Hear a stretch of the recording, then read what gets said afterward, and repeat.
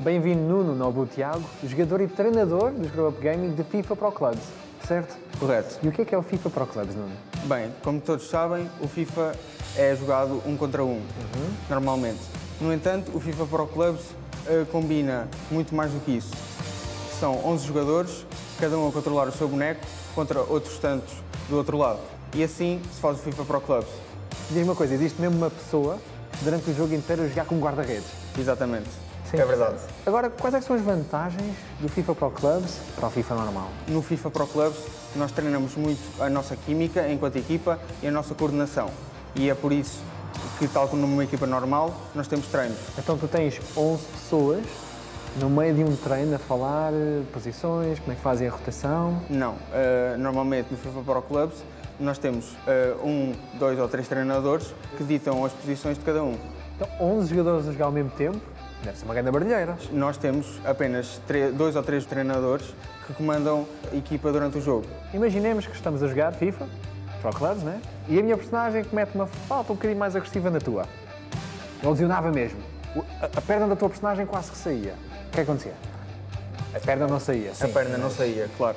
E o meu jogador eh, ficava apenas com o símbolo de uma cruz vermelha e levantava-se imediatamente a seguir, visto que era uma falta e o jogo reinicia. Reinicia?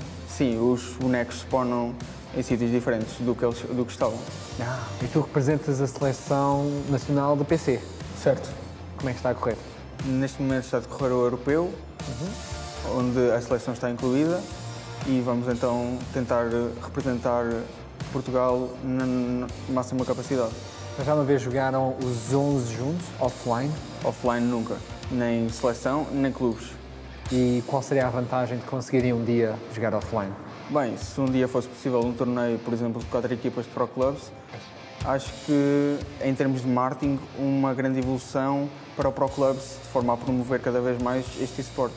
22 pessoas a jogar ao mesmo tempo, né? E as pessoas Sim. a ver cada jogador a movimentar-se ali, era super interessante, no mínimo.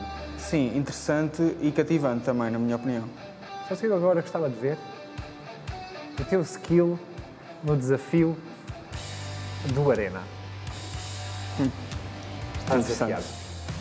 Então tudo o que tens de fazer, Nuno, é jogar Pac-Man e bater o meu score. Boa sorte. Porque, vamos ser sinceros, estás aqui a representar uma seleção nacional. Tens de fazer boa figura. Pois, espero bem que sim. Por falar nisso, enquanto vocês jogam na seleção, estavas-me a falar que vai haver agora uma espécie de cobertura, não é? O Magazine Virtual é então um novo projeto que promove eh, a cobertura dos resumos de cada jornada do Campeonato Nacional e das competições internas portuguesas e, para além disso, vai começar a transmitir jogos em direto para tornar cada vez mais profissional este esporte que é o Pro Club. Ok, e agora como é que está a correr? Muito mal. Muito mal. Sabes, é, é como dizia a minha tia, quando aperta é que dás o teu melhor, entendes? Quando estás encostado contra a parede é que dás o teu melhor. E agora se tens uma vida, em princípio vais demonstrar toda a tua... Toda a minha... Falseste. Falsei, exatamente.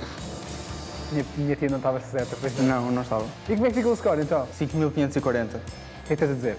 Acho que podia ter feito melhor mesmo assim. Pá, não é mau. Se um bocadinho melhor do que isto no FIFA Pro Clubs, é...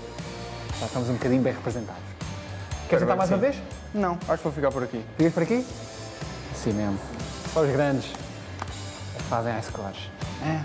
Mas olha, obrigado por ter estado aqui presente Obrigado. e boa sorte.